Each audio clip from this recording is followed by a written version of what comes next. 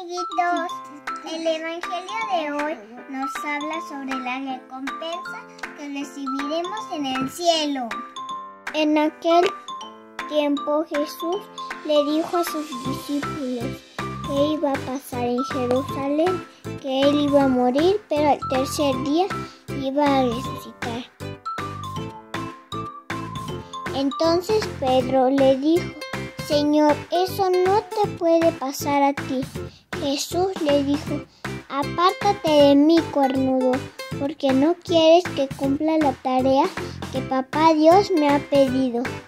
Esos pensamientos, Pedro, no vienen de papá Dios. Jesús le dijo a sus discípulos, quien quiera seguir mis pasos, que lo siga. ¿De qué le sirve la vida aquí en la tierra? Es solo un momentito allá en el cielo es para siempre.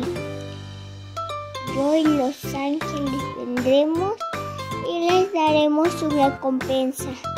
Depende de las cosas buenas que han hecho. Y colorín diocesano, este relato se ha terminado. Hola, queridos amiguitos, amiguitas, hola, ¿cómo están? Pues bueno, hay que ir tras Jesús, queridos niños y niñas, porque si queremos ir fuera de Jesús, como Pedro, pues no, dice, dice, dice Jesús que no, ¿verdad? Hay que seguirlo a Él, ¿de acuerdo? Sí. Aunque a veces esté pesadito seguirlo a Él. Porque, ¿qué creen niños y niñas? Luego dicen los papás, ay, no podemos llevar a los niños al catecismo. ¿Por qué? Uy, porque van al ballet, porque van al taekwondo, porque van al fútbol, porque van a porque van a, tienen mucha tarea, porque van a un colegio muy grande, porque etcétera, etcétera, y ya no tenemos tiempo de llevarlos al catecismo. Eso es un 10 o un tache. Tache, guarache. Así que papás, también ustedes aplíquense.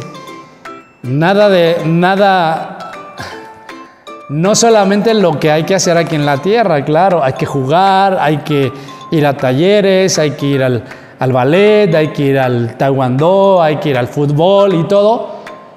Pero si no está Dios, si no está Jesús, entonces no le da sentido a todo esto. ¿De acuerdo? Entonces, papás, también aplíquense, ¿eh?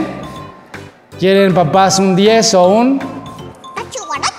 Conste, ¿verdad? Muy bien, pues bueno, les mandamos la bendición, el Señor los bendiga. En el nombre del Padre, del Hijo y del Espíritu Santo. Amén. Primero, pues le mandamos saludos a todos los catequistas, ¿verdad? También le vamos a mandar saludos a Rosy Laguna del Estado de México, a Zaira Isuria de Hidalgo también, de México, gracias. A Juana Evelyn de Atlisco, Puebla. Qué bonito es Atlisco, ¿verdad? Ojalá un día vayamos. Y Rodolfo Sebastián, que bueno, muchos niños están enfermos y él tiene dengue. Esperemos que pronto se recupere y le pedimos a Jesús que lo cure, ¿verdad? Muy bien.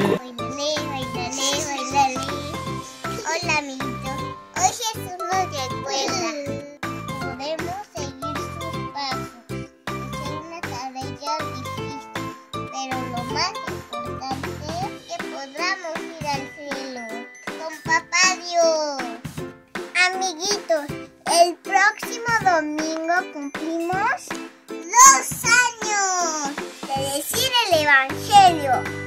Prepárate para festejar. Adiós amiguitos, nos vemos el próximo domingo. Arrivederci.